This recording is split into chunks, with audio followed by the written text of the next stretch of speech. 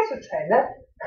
Sì, eh, purtroppo insomma, non sono cose belle da raccontare, a quanto pare insomma, nel settore ospite, ospiti del, del, Napoli sono stati prima delle devastazioni, insomma, come era già accaduto l'anno scorso, a quanto pare nei bagni e altre, altre zone insomma, sono state eh, distrutte e con alcuni pezzi di queste di, di, porte o di rubinetti, non si capisce bene cosa, insomma, venivano, sono state prese da alcuni tifosi del Napoli e lanciati oltre le, le, barriere che separano appunto il settore ospiti dalla curva della Juventus e sono rimasti